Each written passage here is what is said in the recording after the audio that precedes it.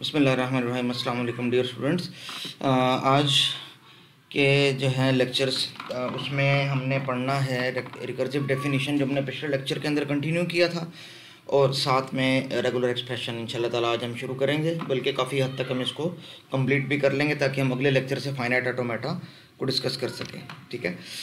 और उससे अगले लेक्चर में इंशाल्लाह हम ट्रांजिशन ग्राफ्स पढ़ेंगे और जब ये तीनों टॉपिक्स हो जाएँगे तो रेगुलर एक्सप्रेशन ट्रांजिशन ग्राफ्स और फाइनाइट ऑटोमेटा यानी डीएफए इसके बाद इंशाल्लाह हम पढ़ेंगे क्लीन थ्योरम और क्लीन थ्योरम को डिस्कस करने के बाद एनएफए एमटी एनएफए एनएफए और एनएफए एमटी पढ़ेंगे। और उसके बाद इंशाल्लाह ताला ये हमारी regular expression sorry regular languages वाला टॉपिक पूरा हो जाएगा।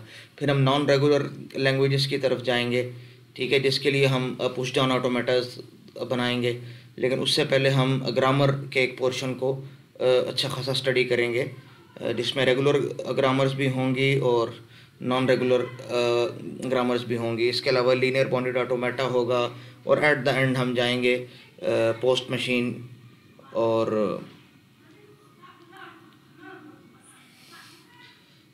दरमियान में मूर और मिले मशीन भी पढ़ेंगे क्योंकि उसमें आउटपुट है। और साथ में जो है पोस्ट मशीन के साथ साथ Turing machine the most important topic दिन से निकल गया था तो वहाँ तक हम जाएँगे। तो ये हमारा कोर्स का फ्लो होगा इन ताला जिसको हम फॉलो करेंगे थ्रू आउट द कोर्स तो आज का जो टॉपिक है वो है हमारा रिकर्जिव डेफिनेशन की कंटिन्यूएशन देखें रिकर्जिव डेफिनेशन को सबसे पहले तो आपको यह समझना है बच्चों के रिकर्जिव डेफिनेशन क्यों कहते हैं? ठीक है? और दूसरी चीज़ जो आपको इसमें समझनी है, वो ये कि इसकी वर्किंग कैसे है, ठीक है? हमने सेट्स को मुख्तलिफ़ तरह से डिफ़ाइन किया। उनमें एक रिकर्सिव डेफिनेशन थी। रिकर्सिव डेफिनेशन में हमने कहा कि जो बेस एलिमेंट्स हैं, हम वहाँ से शुरू करेंगे। बेस एलिमेंट्स या बेसिक वर्ड्स वो होते हैं जिनकी बेस पे बाकी सारे वर्ड्स बन सकते हैं, ठीक है?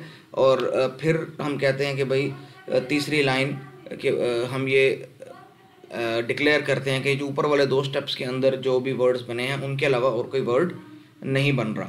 तो आप चूँकि प्रोग्रामिंग और एल्गोरिथम वाले माहौल के आदि हैं तो आपको इस तरह ये डेफिनेशन शायद उस तरह से आपको रिलेट ना कर रहे हों, ठीक है? तो इसके लिए जो है, मैं आपको इन ताला एक एग्जांपल में कम से कम इसको आपके एल्गोज और जो आपकी प्रोग्रामिंग है उससे रिलेट करूँगा ताकि आपको ये समझ आ जाए। पहला कि ये रिकर्जिव है तो इसको रिकर्जिव क्यों कहा गया है? दूसरा इसकी वर्किंग क्यों हो गई ठीक है? अच्छा तीन स्टेप्स हैं। पहला स्टेप रिपीट किया देता हूँ। Basic words that are specified in the language इससे मुराद क्या है? ये अगली स्लाइड में इंशाल्लाह समझ में आ जाएगा। Rules for constructing more words are defined in the language ये दूसरे स्टेप के अंदर होता है और तीसरा स्टेप तो आप समझे कॉपी पेस्ट है। अब लैंग्वेज है पेलेंड्रोम और आपको कहा गया है कि आप इसकी रिकर्सिव डेफिनेशन दें। पेलेंड्रोम होता क्या है?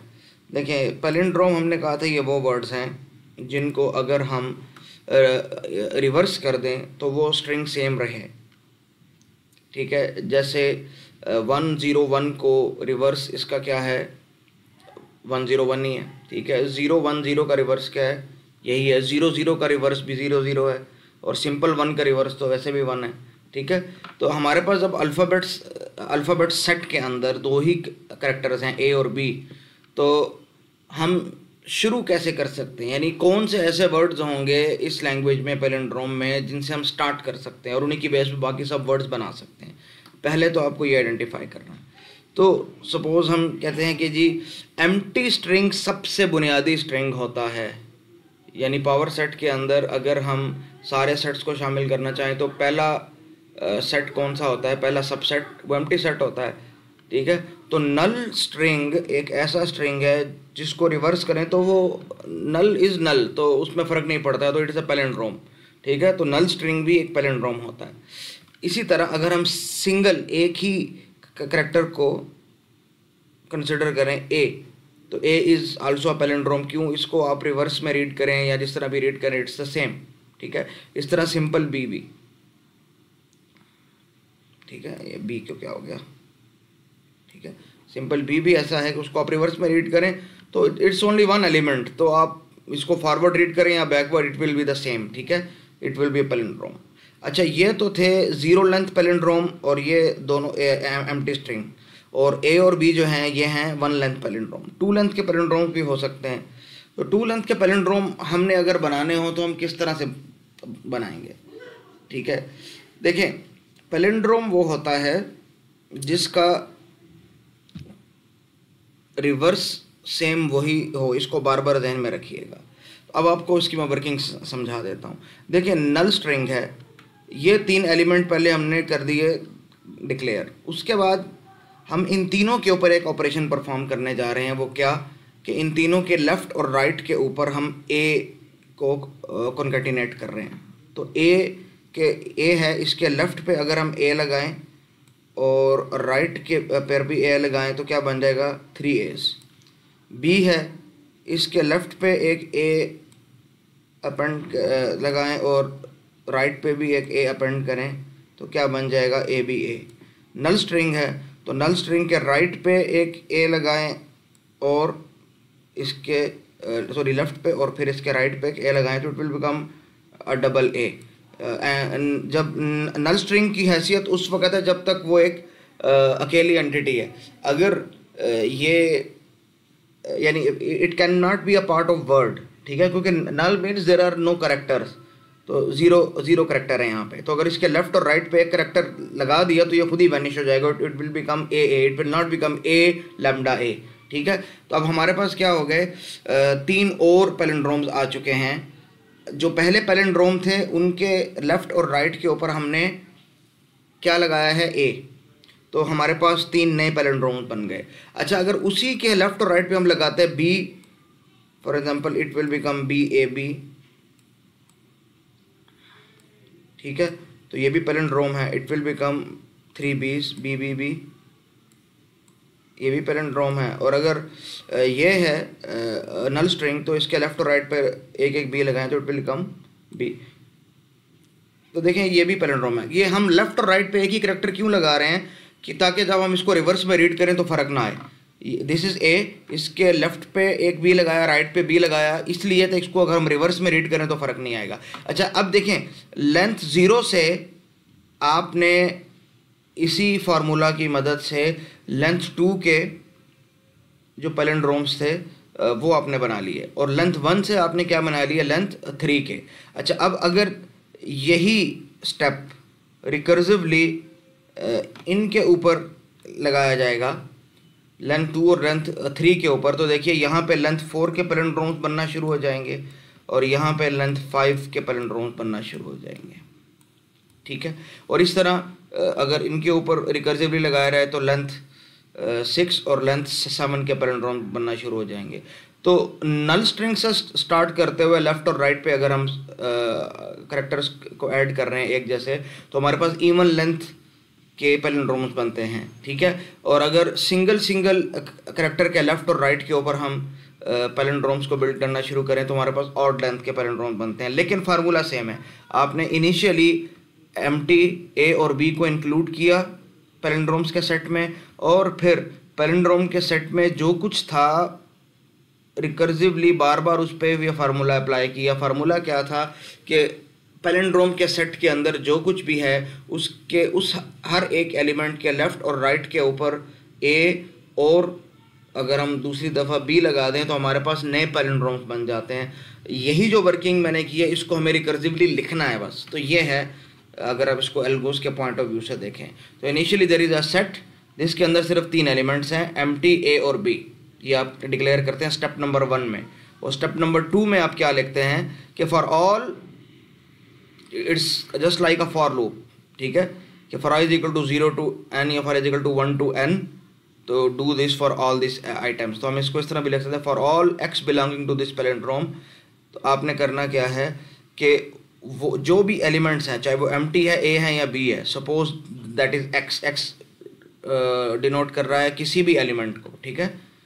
तो uh, उसके लेफ़्ट और राइट right पे एक ए को कॉन्केटिनेट करके एक एक एलिमेंट नया बना लेंगे और इसी तरह बी को लेफ़्ट और राइट right पे कॉन्केटिनेट करके एक नया एलिमेंट हम बना लेंगे। तो इनिशियली तीन एलिमेंट थे तो हमारे पास इससे दो इसके लिए दो इसके लिए और दो इसके लिए टोटल छः एलिमेंट्स नए बन जाएँगे जो हमने यहाँ पे एक दो तीन चार पाँच छः थ्री एज और B A B A B A three B's two A's and then two B's ये छः एलिमेंट हमने बनाए। अगले स्टेप में ये मज़ीद बन जाएँगे और अगले स्टेप में इसको अगर हम बारी बारी आ, करते जाएँ ठीक है? तो ये मज़ीद बन जाएँगे। इनको भी हमने इस सेट के अंदर ऐड कर लिया। बिकॉज़ सेट के अंदर ऐड करने का मतलब यह है कि it becomes a part of this language ठीक है? तो इस तरह हम इस इस डेफिनेशन से इस लैंग्वेज के सारे स्ट्रिंग्स को सॉरी सारे वर्ड्स को जनरेट कर सकते हैं।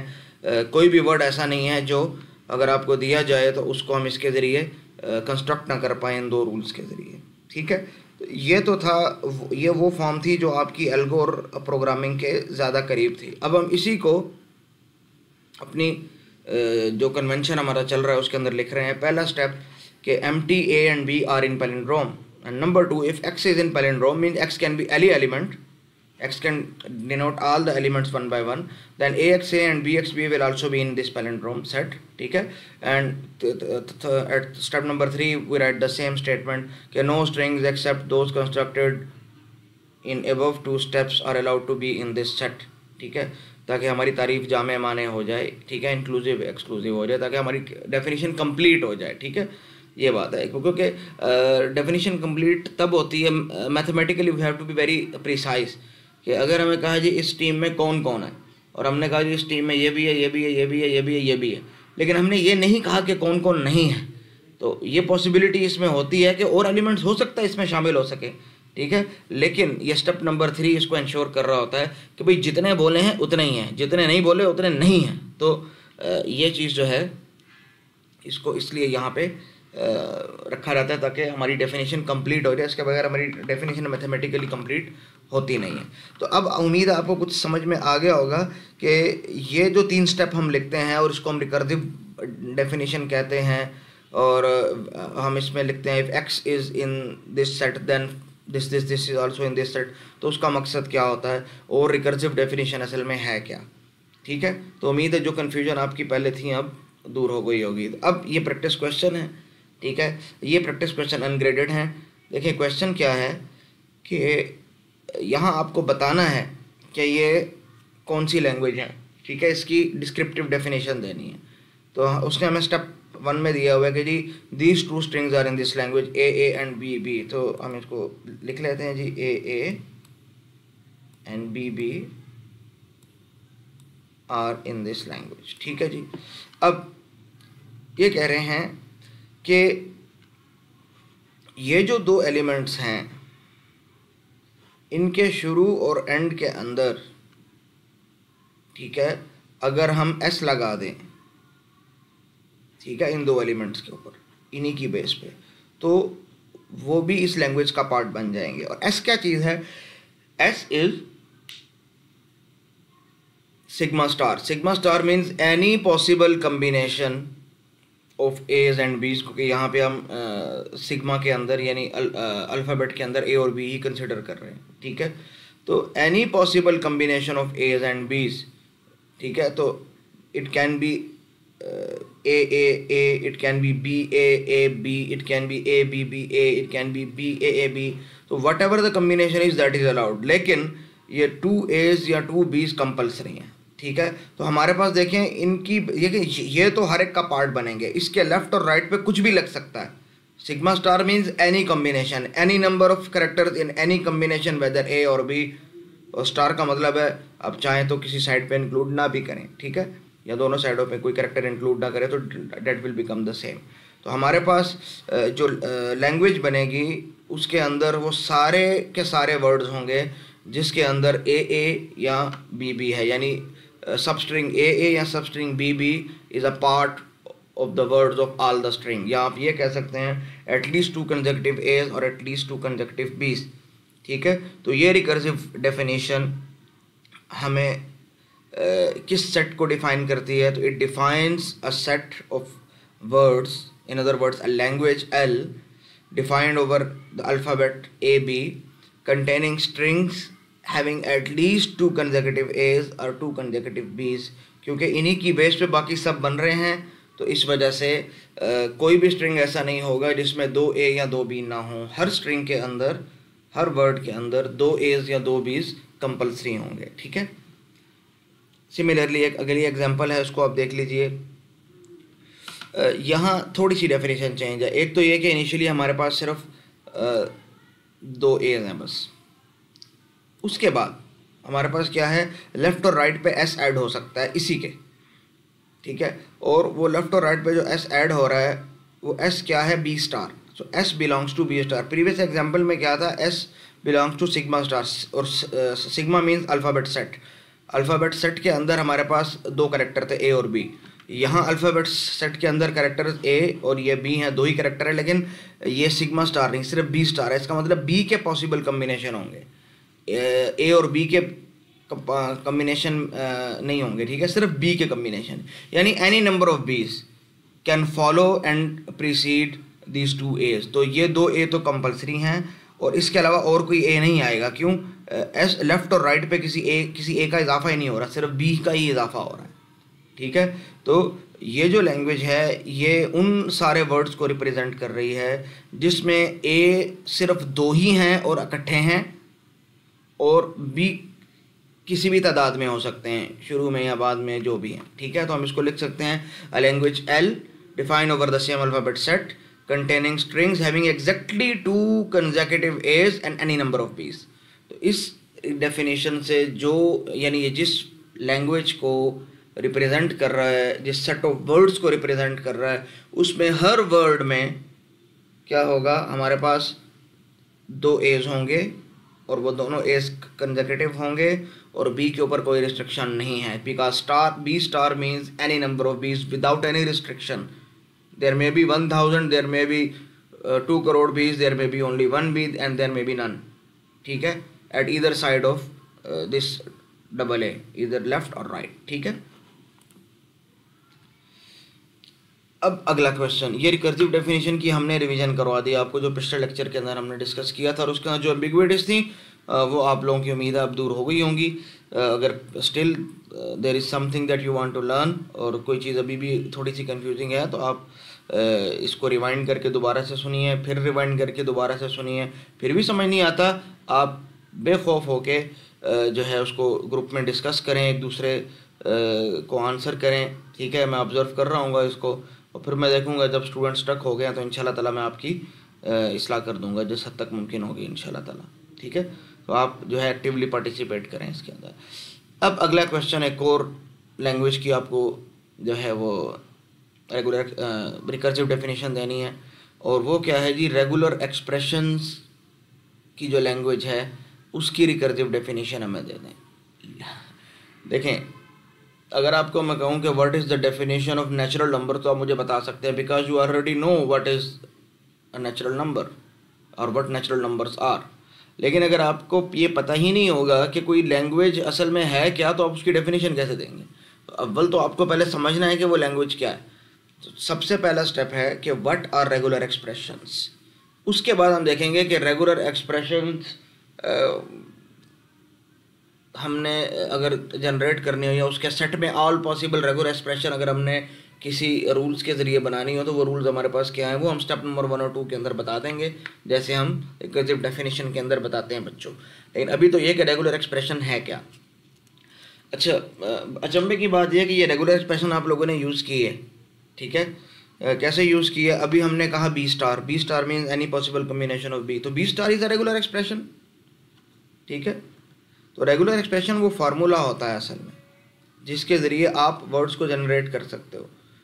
जैसे A star means any possible combination of A including empty string so A star is a regular expression because it can generate words ठीक है? At least it can generate one word ठीक है? तो इस तरह की कोई भी चीज़ फॉर एग्ज़ाम्पल ए स्टार और सिंपल ए और बी स्टार और ए प्लस बी जिससे कम अज़ कम हम एक वर्ड जनरेट कर सकें whether it is a null string ठीक है तो वो एक लैंग्वेज होगी। हाँ अगर कुछ जनरेट ही ना हो सके उससे तो इस, इसका मतलब ये होगा कि वो लैंग्वेज ही नहीं है, क्योंकि empty language means there are no word in this language और if there are no word so it means वो लैंग्वेज है ही नहीं, ठीक है? तो इस चीज़ को ध्यान में रखिएगा। इसी तरह अगर आप लिखें ए प्लस तो it generate all possible combination of a's but not including the lambda ठीक है? और ये लैंग्वेज आप उससे डिफाइन कर सकते हैं। तो ये जो दो लैंग्वेजेस बनाई हैं ए स्टार ने एक लैंग्वेज बनाई है सपोज़ एल वन जिसके अंदर ये सारे एलिमेंट्स हैं, और ए प्लस ने एक लैंग्वेज बनाई है एल टू जिसके अंदर ये सारे एलिमेंट्स हैं। तो ये दो जो, जिस तरह हम रिकर्सिव डेफिनेशन के ज़रिए लैंग्वेजेस को बिल्ड कर सकते हैं इसी तरह हम रेगुलर एक्सप्रेशन के ज़रिए भी लैंग्वेज को बिल्ड कर सकते हैं। रेगुलर एक्सप्रेशन सेट की रिप्रेजेंटेशन का एक मुस्तकिल मेथड है। ठीक है? So for languages L one and L two a star and a plus are the regular expressions क्यों? ये रेगुलर एक्सप्रेशन इन सारे एलिमेंट्स का एक फार्मूला है, ठीक है? उसको उसका पैटर्न है, ठीक है? कि इसके अंदर ये जो ये जो सारे एलिमेंट्स एल टू के अंदर हैं ए प्लस उसका पैटर्न है। तो because a plus means single a और टू एज और थ्री ए और फोर ए और एनी नंबर ऑफ़ एज तो it represent all these elements ठीक है? ये. ठीक है. अच्छा एल टू को आप एक और तरीके से भी जनरेट कर सकते हैं। तो ये याद रखिए, किसी भी लैंग्वेज की रेगुलर एक्सप्रेशन यूनिक होना ज़रूरी नहीं है। ठीक है? फॉर एग्जांपल जिस तरह set of numbers from one to five को आप ये भी लिख सकते हैं। Set of natural number from one to five या set of whole number from one to five तो एक ही चीज़ को आप कई दुरुस्त तरीक़ों से डिफ़ाइन कर सकते हैं। तो इसीलिए सेट एल टू जो है, इसको आप ए ए स्टार से भी डिफ़ाइन कर सकते हैं। ए ए स्टार मीन्स कि एक ए तो कंपलसरी है, उसके बाद, क्योंकि देखिए इन सब में एक ए कंपलसरी है। ये, एक ए कंपलसरी है। उसके बाद you can have any number of a's because a star means even empty तो अगर एम टी है तो सिंपल ए ठीक है? और अगर एम टी नहीं है, एक ए ए स्टार जनरेट करता है तो इट बिकम टू एज तीन करता है तो तीन, चार करता है तो चार। तो ये सारे का सारा सेट जिस तरह ए प्लस से जनरेट हो सकता है तो ए ए स्टार से भी जनरेट हो सकता है। और अगर आप इसको ए स्टार ए लिखना चाहें तो तब भी कोई फ़र्क नहीं है। A star means there is nothing in the beginning and there is an a at the end तो आप आखिरी वाले ए को ये वाला ए कंसिडर कर लें इन सब में से। और ए स्टार का मतलब anything that comes before this ठीक है ना? तो ए ए स्टार और a star a in this case it is the same ठीक है? तो ये इतना बड़ा मसला नहीं है। और आप रेगुलर एक्सप्रेशन को कंबाइन भी कर सकते हैं। जैसे आप लिख सकते हैं ए प्लस ये, ए प्लस बी लिख सकते हैं, ठीक है? A star plus b star लिख सकते हैं। तो ए डॉट बी लिख सकते हैं a star dot b star लिख सकते हैं। और सिंपल ए स्टार या ए प्लस तो आप लिख ही सकते हैं, जैसे आपने लिखा। तो ये सारे ऑपरेशन इसमें चलते हैं, यानी और ऑपरेशन भी चलता है एंड मीन कॉन्कटिनेशन ऑपरेशन भी चलता है क्लीन स्टार भी चलता है, और क्लीन प्लस ऑपरेशन भी चलता है। देखो, ये वाला प्लस और ये वाला प्लस फ़र्क है। ये वाला प्लस नॉर्मल प्लस है और और यूनियन के लिए आता है, और ये वाला प्लस जो कि सुपरस्क्रिप्ट की फॉर्म में लिखा जाता है, इसको क्लीन प्लस या सिंपल प्लस ऑपरेशन भी कभी कभी रेफर कर दिया जाता है। ठीक है? तो अब हमारे पास रिकर्जिव डेफिनेशन क्या हो सकती है? ठीक है? किसी भी लैंग्वेज की। तो देखें अल्फ़ाबेट सेट के अंदर सपोज़ अगर हमारे पास ए और बी है,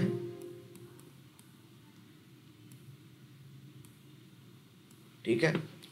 तो हमारे पास अगर सिंपल रेगुलर एक्सप्रेशन जो सबसे बेसिक रेगुलर एक्सप्रेशन है, वो कौन सी है भाई?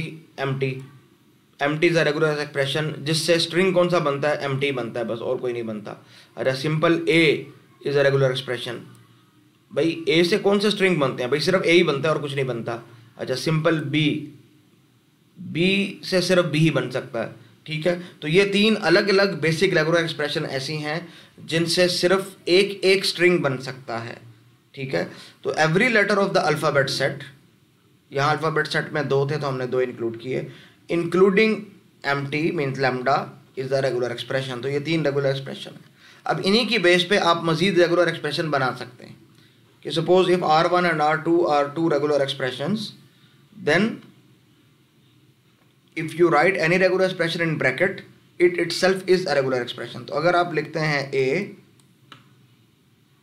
और उसको ब्रैकेट में आप बंद कर देते हैं तो it means it's a regular expression it is again a regular expression तो ये भी एक रेगुलर एक्सप्रेशन बन जाती है। और अगर आप उनको कॉन्कटिनेट करते हैं suppose you write a and then again a तो ये भी रेगुलर एक्सप्रेशन है। या अगर आप लिखते हैं बी ए लिखते हैं, दो को, किसी भी दो को कॉन्कटिनेट कर देते हैं तो इट्स अ रेगुलर एक्सप्रेशन आप इसको, यानी ब्रैकेट ए ब्रैकेट और बी को कॉन्कटिनेट करते हैं। तो ये भी एक रेगुलर एक्सप्रेशन है, क्योंकि रिकर्सिव डेफिनेशन के ज़रिए हम इसको बिल्ड कर सकते हैं।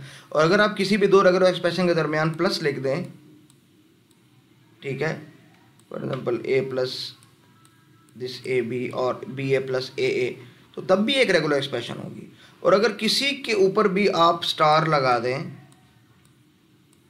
या प्लस लिख दें तब भी वो एक रेगुलर एक्सप्रेशन होगी। वो, देखें, ये एक रेगुलर एक्सप्रेशन है। अगर आप इसके गिर्द ब्रैकेट लगा दें तो ये एक रेगुलर एक्सप्रेशन अब भी ये एक नई रेगुलर एक्सप्रेशन बन गई। इस रेगुलर एक्सप्रेशन के ऊपर अगर आप स्टार लगा दें तो ये एक नई रेगुलर एक्सप्रेशन बन गई। इस रेगुलर एक्सप्रेशन को आप बी से कॉन्केटिनेट कर दें तो आपके पास एक और नई रेगुलर एक्सप्रेशन बन गई। तो आप इन रूल्स के ज़रिए सारी की सारी रेगुलर एक्सप्रेशंस को बिल्ड कर सकते हैं, ठीक है? तो रेगुलर एक्सप्रेशन एक अलग तरीका है लैंग्वेजेस को रिप्रेजेंट करने का और जितनी भी पॉसिबल रेगुलर एक्सप्रेशन लिखी जा सकती हैं, उनको आप इस रिकर्सिव डेफिनेशन के ज़रिए आप उसको बिल्ड कर सकते हो, आप उसको कंस्ट्रक्ट कर सकते हो, ठीक है? तो फॉर्मल लैंग्वेजेस की डेफिनेशन में हमने पाँच तरीके पढ़ लिए लैंग्वेज को डिफाइन करने के। कौन सा पढ़ा हमने? तरीका? हमने पढ़ा जी सबसे पहले set builder notation descriptive form और टेबुलर फॉर्म ये वो तीनों फॉर्म्स हैं जो आप पहले मेट्रिक एफ़ एस या ए लेवल ओ लेवल के अंदर पढ़ चुके हैं। फिर अब हमने रिकर्सिव डेफिनेशन को पढ़ा पिछला लेक्चर के अंदर और आज हमने रेगुलर एक्सप्रेशन को देखा कि ये क्या होते हैं, ठीक है? इसकी मज़ीद एग्जांपल अगली स्लाइड के अंदर आ रही हैं। अगले लेक्चर के अंदर फॉर्मल लैंग्वेजेस को डिफाइन करने का एक नया मेथड आएगा जिसको हम कहेंगे एफ़ ए फाइनाइट ऑटोमेटा जिसको आप ग्राफ के ज़रिए भी रिप्रेजेंट कर सकते हैं और जिसको आप ट्रांजिशन टेबल के ज़रिए भी रिप्रेजेंट कर सकते हैं, ठीक है? उसको रिप्रेजेंट करने के कई मेथड्स हैं, ठीक है? और आप उसको मैथमेटिकली एक और फॉर्म में भी रिप्रेजेंट कर सकते हैं डेफिनेशन फॉर्म के अंदर भी, ठीक है? और इसके अलावा ट्रांजिशन ग्राफ्स हैं एन एफ़ एम टी है, ये ये सारे लैंग्वेजेस को डिफाइन करने के मेथड्स हैं। और ये हम आगे जाएँगे ट्यूरिंग मशीन तक। तो ये सारे के सारे हम असल में इसमें पढ़ेंगे क्या? समझे? सेट थ्योरी में सिर्फ़ एक टॉपिक पढ़ना है ऑटोमेटा के अंदर। वो क्या? कि हम लैंग्वेज को डिफ़ाइन कैसे करेंगे। हम लैंग्वेज किसी भी लैंग्वेज को मुख्तलिफ़ फॉर्म के अंदर डिफ़ाइन कर सकते हैं। तो वो कौन कौन सी फॉर्म्स हैं? लैंग्वेज की टाइप के ऊपर कि हम उसको किस फॉर्म क्योंकि ज़ाहिर बात है, हर लैंग्वेज हर फॉर्म में डिफ़ाइन नहीं हो सकती। नॉन रेगुलर लैंग्वेजेस जो हैं वो आप उनकी रेगुलर एक्सप्रेशन नहीं बना सकते। ठीक है? तो वो चीज़ें खैर आगे चल के इंशाल्लाह ताला आपको समझ में आ जाएँगी। ठीक है? अब हम वापस आते हैं अपने रेगुलर एक्सप्रेशन की तरफ़, क्योंकि हमने रेगुलर एक्सप्रेशन को देखना है और आज इसी को हमने कवर करना है। देखो consider a language that is empty one x two x three and then up to infinity ठीक है? और अल्फ़ाबेट सेट में एक ही एलिमेंट है। ठीक है? तो हमें पता है हम इसको क्या लिख सकते हैं। It is x star x star means any possible combination of x including empty string आप उसको एक्स स्टार के तौर पे लिख सकते हो। और अगर आप चाहो तो उसको सिग्मा स्टार भी लिख सकते हो। क्यों? क्योंकि सिग्मा में यहाँ एक ही एलिमेंट है। तो here sigma star and x star इस फॉर्म में लिखते हो एक्स स्टार को या इस फॉर्म में लिखते हो क्लीन स्टार को it is just the same ठीक है? तो it will define this language तो ये एक रेगुलर एक्सप्रेशन बन जाएगी, ठीक है? इसी तरह अगर आपके पास ये सेट है, जिसका अंदर एम नहीं है तो आप उसको एक्स प्लस के तौर पर लिख सकते हैं। अब हम एक आगे बढ़ते हैं थोड़ा सा, ठीक है? Consider another language L consisting of all possible strings define over a b ठीक है? भाई, इस इस अल्फ़ाबेट सेट से जितने भी स्ट्रिंग बन सकते हैं, वो सारे के सारे, यानी empty b single a b single b b two a's two b's b combination of a b's b जैसे a b a b a b b a a b a b a b a a a a b b b कोई भी possible combination जो भी combination आप सोच सकते हैं, वो है all possible strings all possible combination of a's and b's जिसको हम सिग्मा स्टार भी लिख सकते हैं। ठीक है? तो sigma star means all possible combination of a's and b's तो चूँकि सिग्मा के अंदर अभी एलिमेंट कितने हैं? दो। तो आप इसको इस फॉर्म में भी लिख सकते हैं। Because sigma means this set a b तो sigma star means a b set whole star it is just the same लेकिन ये रेगुलर एक्सप्रेशन नहीं है। रेगुलर एक्सप्रेशन में हम ये ब्रैकेट इस्तेमाल नहीं करते। हम पैरेंथेसिस इस्तेमाल करते हैं। ठीक है भाई ए या बी के सारे पॉसिबल कम्बिनेशन और दरमियान में हम सिंबल लगाते हैं। प्लस का। प्लस मीन्स और। भाई ए और या ए हो सकता है या बी हो सकता है। या इन दोनों को मिला के कोई भी possible combination star indicates that including M ठीक है? तो ये सारे के सारे हम इसको डिनोट कर सकते हैं। भाई, ये ये वाली चीज़, ये वाली चीज़ और ये वाली चीज़ सेम है, लेकिन रेगुलर एक्सप्रेशन इसमें हम इसको कहेंगे, क्योंकि रेगुलर एक्सप्रेशन की डेफिनेशन में हमने देखा कि पैरेंथेसिस हैं और ये ब्रेसेस नहीं है, ठीक है? और रेगुलर एक्सप्रेशन के अंदर जो है वो अल्फ़ाबेट सेट में से एलिमेंट्स आ रहे होते हैं। खुद अल्फ़ाबेट सेट काउंट नहीं हो रहा होता। ये और बात है कि sigma star is considered a plus b whole star in this case तो it is just the same ठीक है?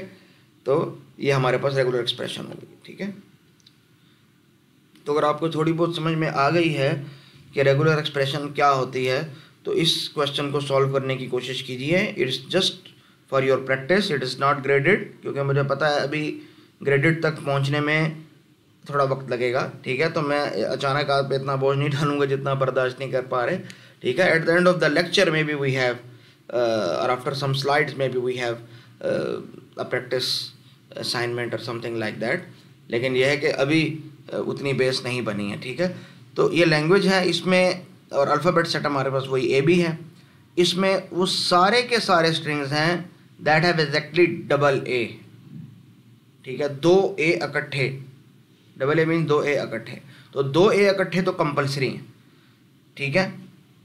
और एग्जैक्टली डबल ए का मतलब है कि ए हैं भी डबल है और सिर्फ़ डबल है। Exactly double a means only two a's अब एज और मज़ीद नहीं ऐड हो सकते। ठीक है ए इस लैंग्वेज के, हर स्ट्रिंग के अंदर, हर वर्ड के अंदर दो एज हैं। कंपलसरी हैं एडजसेंट हैं, ठीक है, और दो से ज़्यादा नहीं है। अच्छा बीस के बारे में कोई रिस्ट्रिक्शन है? नहीं। तो इसका मतलब it can precede and follow any number of b's तो any number of b means b star ठीक है? तो ये हो गई इसकी रेगुलर एक्सप्रेशन रेगुलर एक्सप्रेशन क्या हो जाएगी? B star a a b star it means any number of b's then exactly two a's ठीक है? और exactly a double a and then any number of b's तो ये वो पैटर्न है, ये वो फार्मूला है ये वो कॉमन प्रॉपर्टी है दूसरे अंदाज में, जो कि इस लैंग्वेज के सारे के सारे वर्ड्स में पाई जाती है, ठीक है? अब क्वेश्चन थोड़ा सा चेंज हो रहा है। पहले था एग्जैक्टली डबल ए अब ये है नहीं एग्जैक्टली टू एज अब इस, यहाँ पे क्या है, दो एज हैं। लेकिन उनका कंजेकेटिव होना, उनका एडजस्टेंट होना, उनका इकट्ठे होना ये ज़रूरी नहीं है। बाकी लैंग्वेज वही है। तो दो एज हैं। हाँ इसके शुरू में देर may be any number of बीज और there may be any number of b's at the end of these two a's लेकिन दरमियान में भी इनके एनी नंबर ऑफ़ बीज हो सकते हैं। ठीक है? ठीक है? इसमें और पहले में फ़र्क यह था, वो तो उसमें पह, दो एज इकट्ठे आने चाहिए थे। Exactly a double a double a means दो ए इकट्ठे। यहाँ क्या एग्जैक्टली टू एज ये नहीं, अब ये रिस्ट्रिक्शन नहीं है कि उनके दरमियान कोई गैप हो, यानी कोई और करेक्टर होगा या नहीं होगा। जब कोई रिस्ट्रिक्शन नहीं है तो हम भी उसको बहुत विदाउट एनी रिस्ट्रिक्शन उसको हम जो है कंसिडर करेंगे। ठीक है ना? It will become b star a b star a b star ठीक है? अब यहाँ पे क्या language L of strings of even length defined over this even length का मतलब ये है कि even numbers are zero two four six eight ten up to infinity तो स्ट्रिंग की लेंथ या ज़ीरो होगी, या टू होगी, या फोर होगी, या सिक्स होगी, या एट समथिंग लाइक दैट तो अगर हम शुरू करें स्ट्रिंग की लेंथ है दो। ठीक है? तो स्ट्रिंग की लेंथ टू का मतलब ये है कि पहला एलिमेंट ए या बी में से कोई हो सकता है, और दूसरा एलिमेंट भी ए या बी में से कोई हो जाएगा तो स्ट्रिंग की लेंथ हो जाएगी दो। अगर मैं इस पर स्टार अप्लाई कर दूँ होल के ऊपर तो इसका मतलब दो दो का कोई भी पॉसिबल कम्बिनेशन यानी ए यानी इट में भी एम टी तो एम टी को कर देगा जनरेट अब यहाँ से एक ए या बी में से कुछ आ जाएगा सपोज़ ए और यहाँ से क्या आ जाएगा सपोज़ ए तो बन जाएगा डबल ए और यहाँ से अगर बी आता तो बन जाता ए बी और अगर यहाँ से हम ए और बी में से बी को कंसिडर करते हो इट वाज बी और इधर से दो पॉसिबिलिटीज़ बी ए और बी बी ठीक है? तो a plus b a plus b से लेंथ टू के ये चार पॉसिबल वर्ड्स ही बन सकते थे, ठीक है?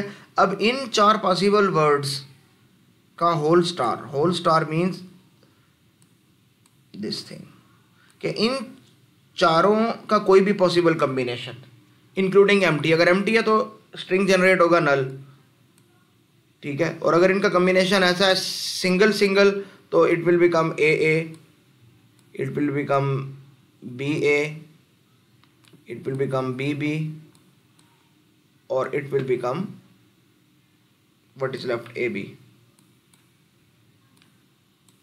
ठीक है? और अगर पॉसिबल कम्बिनेशन में तो any number of a a's a b's b a's या बी एज हो सकते हैं। ठीक है? बी बीज तो लेकिन जो भी इनका कम्बिनेशन होगा, ये इवन लेंथ का ही होगा। क्यों? उसकी वजह यह है कि रिपीट तो यही पैटर्न हो रहा है और ये इवन जनरेट करता है। तो यहाँ ये कुछ जनरेट नहीं करेगा एम टी मीन्स नल यहाँ ये ये दो हैं, ये ये चूँकि ये इन चारों में से किसी एक को रिप्रेजेंट करते हैं, ठीक है? तो it will generate any of this तो ये भी इवन लेंथ है। या इन्हीं के कम्बिनेशन इन्हीं चारों के कम्बिनेशन ठीक है? तो इवन नंबर के कम्बिनेशन भी इवन ही होते हैं, इसीलिए ये इवन लेंथ ही जनरेट होगी, इससे ऑड लेंथ जनरेट नहीं हो सकती, ठीक है? अगर ऑड लेंथ का कहा जाए तो देखें सेम वही इवन के साथ अगर हम एक ए या एक बी ऐड कर दें, चाहे शुरू में या बाद में तो that will become odd length तो ये बिल्कुल आसान था, ठीक है? ऑड स्टार्ट्स फ्रॉम ज़ीरो तो उसके साथ अगर आप शुरू में या बाद में ए या बी में से कुछ भी ऐड कर दें, या शुरू में या बाद में, एक ए या एक बी तो it it's length will become odd क्योंकि इवन के अंदर वन प्लस यानी एक इवन लेंथ के स्ट्रिंग में एक स्ट्रिंग यानी एक करेक्टर का इजाफा करने से वो ऑड लेंथ का स्ट्रिंग बन जाता है, ठीक है? तो ये टॉपिक बहुत मैथमेटिकल है और इस पर अच्छी खासी प्रैक्टिस चाहिए आप लोगों को, बच्चों। इस लेक्चर को एक दो दफ़ा सुनने की ज़रूरत है आपको, ठीक है, कम अज़ कम। और इन एग्जाम्पल्स को भी दो दो दफ़ा करने की ज़रूरत है। अब एक टास्क है बच्चों आप लोगों के लिए, ठीक है, इसको आप लोग कर लीजिए consider a language defined over alphabet set a b और वर्ड्स एंडिंग इन बी और अगला है नॉट एंडिंग इन ए तो देखो एंडिंग इन बी और नॉट एंडिंग इन ए में फ़र्क है कि नहीं? इस तरह की मैंने आपको एक क्लास टास्क दी हुई है, इससे मिलती जुलती ठीक है? पहली क्लास टास्क के अंदर, पहली या दूसरी क्लास टास्क में। तो अगर उधर आपने कोई गलती की है तो अब यहाँ पे ना करना, ठीक है? इसको हल कर लेना खुद से। और ये है जो आपकी ग्रेडेड क्लास टास्क है। जब थोड़ी बहुत बेस बन गई तो अब आपको एक छोटी सी ग्रेडेड टास्क दे देनी चाहिए, ठीक है? देखो, एक लैंग्वेज है जिसका हमने नाम कुछ भी रखा दैट में भी L one L two L three L four even even palindrome कुछ भी। तो यहाँ हमने नाम रख दिया ईवन ईवन लैंग्वेज की डेफिनेशन क्या है कि it's the language of all strings define over alphabet set zero zero and one तो यहाँ दो करेक्टर है हमारे पास। एक कंपाउंड करेक्टर है, यानी उसमें सिंबल ज़्यादा है that is zero zero but it is still one character ठीक है? और दूसरा है हमारे पास वन तो having even number of zero zeros zero zeros mean ये ज़ीरो ज़ीरो एक करेक्टर है। तो even number of zero zero means इधर नो ज़ीरो ज़ीरो और टू ज़ीरो जीरोज और थ्री ज़ीरो जीरोज ठीक है? And even number of ones तो even number of one means इधर नो वन इधर टू वंस इधर फोर वंस ठीक है? इस तरह। तो उससे जो वर्ड्स बन सकते हैं, वो कुछ टेबल और फॉर्म के अंदर लिखे हुए हैं। ठीक है? तो आपको इसको रेगुलर एक्सप्रेशन की फॉर्म में बताना है, ठीक है? आपके पास वक्त है, आप हर तरह का रिसोर्स इस्तेमाल कर सकते हैं आपस में डिस्कस कर सकते हो, आप इंटरनेट पे देख सकते हो बुक देख सकते हो, कहीं से कुछ भी देख सकते हो, ठीक है? तो इसमें थोड़ा सा आपको एफर्ट करनी पड़ेगी, आपको हर तरह की डिस्कशन की पूरी इजाज़त है, ठीक है? किसी से हेल्प भी ले सकते हो, ठीक है? किसी सीनियर से, किसी से भी। हालाँकि ये वो क्वेश्चन है जो मैंने उनको नहीं दिया होगा, मेरे क्वेश्चन हमेशा चेंज होते हैं। तो फिर भी अगर शायद वो आपकी कोई हेल्प कर सकें, ठीक है? अच्छा अगर दो हमने पहले एक बात की थी कि एक ही लैंग्वेज को कई तरीके से डिफाइन किया जा सकता है तो इससे कोई फ़र्क नहीं पड़ता है। तो इसका मतलब एक ही लैंग्वेज की कई रेगुलर एक्सप्रेशन भी हो सकती हैं। जैसे कि हमने यहाँ पे किया कि ये दोनों एक ही रेगुलर एक्सप्रेशन है। यानी रेगुलर एक्सप्रेशन तो अलग अलग है, लेकिन एक ही लैंग्वेज को डिनोट कर रहे हैं। ठीक है? तो इसका मतलब ये दोनों इक्विवेलेंट रेगुलर एक्सप्रेशन हैं। तो two regular expression are set to be equivalent if they generate the same language ठीक है? मिसाल के तौर पे रेगुलर एक्सप्रेशन वन है, ठीक है? A plus B whole star mean any combination of A's and B's लेकिन आखिर में क्या आएगा? यहाँ दो एज या दो बीज उसको आप अलग अलग लिखना चाहें तो A plus B whole star के आखिर में या ए आएगा, या A plus B whole star के आखिर में बी बी आएगा तो it's just the same it will generate और इट विल रिकोगनाइज या जनरेट जो भी आप कहना चाहें द सेम लैंग्वेज ये एक ही लैंग्वेज को रिप्रेजेंट कर रहे हैं, एक ही सेट को रिप्रेजेंट कर रहे हैं, लेकिन मुख्तलिफ़ अंदाज से लिखा हुआ है. So there may be two or more regular expression for the same language but semantically they will be equal इनके दरमियान सीमेंटिकली किसी किस्म का फ़र्क नहीं होगा, ठीक है? They are the same so they are called equivalent regular expression ठीक है? अच्छा अब एक छोटा सा कॉन्सेप्ट है कि भाई रेगुलर एक्सप्रेशन तो पता चल कि रेगुलर लैंग्वेजेस क्या होती हैं। भाई, जिस लैंग्वेज की हम रेगुलर एक्सप्रेशन बना सकते हैं, जिस लैंग्वेज को हम रेगुलर एक्सप्रेशन की फॉर्म में रिप्रेजेंट कर सकते हैं, उसको हम, यानी उस सेट ऑफ़ वर्ड्स यानी उस लैंग्वेज को हम क्या कहते हैं रेगुलर लैंग्वेज कहते हैं। आगे चल के अब देखेंगे, बहुत सी लैंग्वेजेस ऐसी हैं जिनकी, जिनको हम डिस्क्रिप्टिव फॉर्म में तो लिख सकते हैं। मे बी उसकी आप रिकर्जिव या कि और फॉर्म में डेफिनेशन भी आप उसकी दे दें। लेकिन आप उसकी सेट बिल्डर फॉर्म में डेफिनेशन दे सकते हैं। लेकिन आप उसको रेगुलर एक्सप्रेशन की फॉर्म में नहीं लिख सकते, क्योंकि हर एक चीज़ की लिमिटेशन होती है। ठीक है? तो इस तरह से वो नॉन रेगुलर लैंग्वेजेस कहलाते हैं। ठीक है? और उनका वो भी, उनका दायरा भी बहुत बड़ा है। वो काफ़ी लैंग्वेजेस ऐसी हैं जो हमारे पास नॉन रेगुलर लैंग्वेजेस हैं। ठीक है? तो रेगुलर लैंग्वेजेस वो लैंग्वेजेस हैं जिनको हम रेगुलर एक्सप्रेशन की फॉर्म में रिप्रेजेंट कर सकते हैं बस, इससे ज़्यादा नहीं है इस पर ठीक है? अच्छा जो रेगुलर एक्सप्रेशंस के रूल्स हैं, वो रेगुलर लैंग्वेजेस में भी चलते हैं। कैसे? If R one and R two are regular expressions corresponding to two regular languages namely L one and L two तो अगर हम एक ऐसी, ऐसा, देखें एल वन और एल टू एक सेट है। ये दो अलग अलग सेट्स हैं लैंग्वेजेस के, जिनको कोई दो रेगुलर एक्सप्रेशन आर वन और आर टू रिप्रेजेंट कर रही थी। ठीक है? अब ये जो अगर इन इन दोनों सेट्स को हम यूनियन ले लें, और इन दोनों सेट को मिला के एक बड़ी लैंग्वेज हमने बना ली तो उसकी रेगुलर एक्सप्रेशन क्या हो सकती है? तो कहते हैं उसकी एक regular expression R one plus R two हो सकती है। आप simply R one plus R two लिख दो that will be the regular expression for L one union L two ठीक है? इसी तरह R one R two can be the regular expression for language L one L two L one L two क्या चीज़ है? It is not intersection याद रखिएगा। तो यूनिट के बाद हमेशा इंटरसेक्शन का नंबर नहीं आता। इट इज़ कॉन्कटिनेशन ठीक है? कि एल वन एल टू के अंदर वो वर्ड्स हैं जिनका पहला पार्ट इस लैंग्वेज से है और उस वर्ड का दूसरा पार्ट यानी वो सारे के सारे कंपाउंड वर्ड्स हैं, ठीक है? दो वर्ड से मिलकर बने, जैसे बुक शेल्फ तो ये दो वर्ड से मिलकर एक वर्ड बना है। ठीक है? तो फॉर एग्ज़ाम्पल बुक बिलोंग करता है एल वन से और शेल्फ बिलोंग करता है दूसरे सेट से। आर वन स्टार ये रेगुलर एक्सप्रेशन हो सकती है एल वन स्टार के लिए कि अगर हमने उस लैंग्वेज ही को अल्फ़ाबेट सेट कंसिडर कर लिया और उससे एक नई लैंग्वेज बना ली एल वन स्टार तो उसके लिए रेगुलर एक्सप्रेशन दोबारा से जनरेट करने की ज़रूरत नहीं है। जो पहले रेगुलर एक्सप्रेशन थी, उसके ऊपर से आप स्टार लगा दें that will become the same ये उसको रिप्रेजेंट कर पाएगी, ठीक है? अच्छा। देखें, हमने पहले बात की कि कुछ लैंग्वेजेस रेगुलर हैं, कुछ नॉन रेगुलर हैं। रेगुलर लैंग्वेजेस वो हैं जिनको हम रेगुलर एक्सप्रेशन की फॉर्म में लिख सकते हैं। और नॉन रेगुलर लैंग्वेजेस वो हैं जिनको हम रेगुलर एक्सप्रेशन की फॉर्म में नहीं लिख सकते। तो रेगुलर एक्सप्रेशन जिसकी हम बना सकें, जिस भी लैंग्वेज की, वो रेगुलर लैंग्वेज होगी। तो यहाँ एक पॉइंट समझिए। कि अगर एक लैंग्वेज फाइनाइट है, और उसके अंदर सपोज़ पाँच करोड़ वर्ड्स हैं, उससे ज़्यादा नहीं है तो क्या आप उसकी रेगुलर एक्सप्रेशन बना सकते हैं? बिल्कुल बना सकते हैं। कैसे? भाई, पहला वर्ड प्लस दूसरा वर्ड प्लस तीसरा word plus plus plus plus आखिरी वर्ड चाहे वो दस करोड़वा लफज था या बीस करोड़वा लफज था, लेकिन था फाइनाइट तो इतनी लंबी रेगुलर एक्सप्रेशन अगर हमने भी किसी की बना दी, अगर हम सारे वर्ड्स को लिख कर दरमियान में प्लस लगा दें तो ये एक बहुत बड़ी रेगुलर एक्सप्रेशन बन जाएगी। तो as far as a set is finite it can not be non regular ये याद रखिएगा।